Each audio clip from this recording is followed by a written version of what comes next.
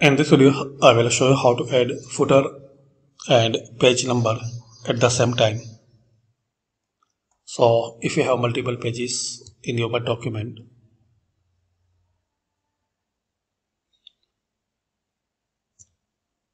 so click on view and multiple pages. So we can see we have some pages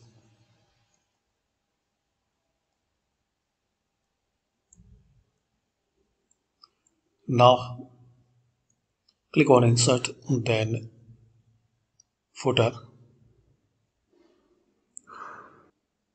Now here click on this page number. Select the position.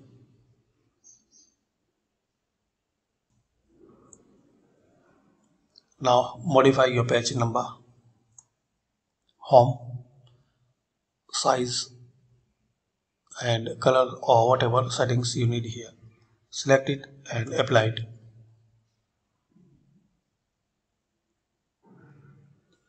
So this way in the same time you can add footer and page number. Now you want to remove this page number from first page. So activate double click in this footer area. Then select different first page so it will be removed from first page and second page will start. So here again click on page number.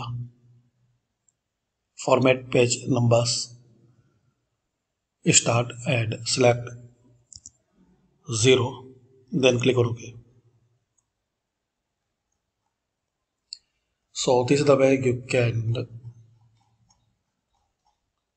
add footer and page number at the same time